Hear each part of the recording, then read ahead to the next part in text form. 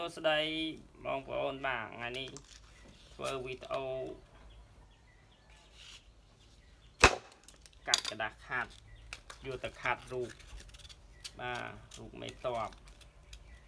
មេតបខ្មែរតែចាប់ដើមខាត់ហើយចិត្តហើយបានវាយតំណប់លៀបថ្នាំអីបាទ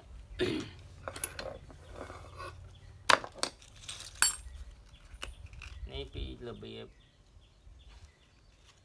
កាត់กระดาษខាត់យកទៅខាត់បាទ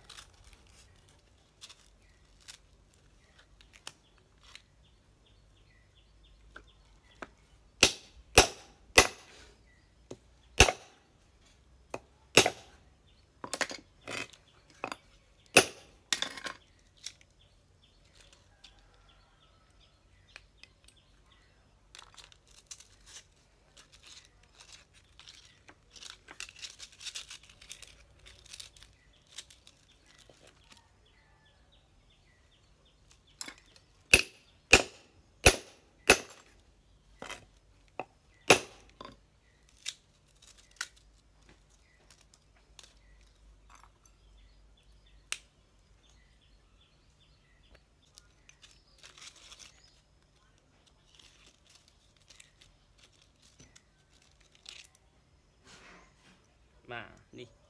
បដោខ្ចៅបាទចេះមកនឹងទីក្បាលกระดาษខាតទៅ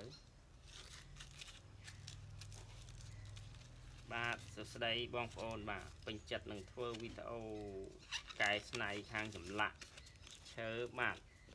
សូម Subscribe ម្នាក់មួយបាទ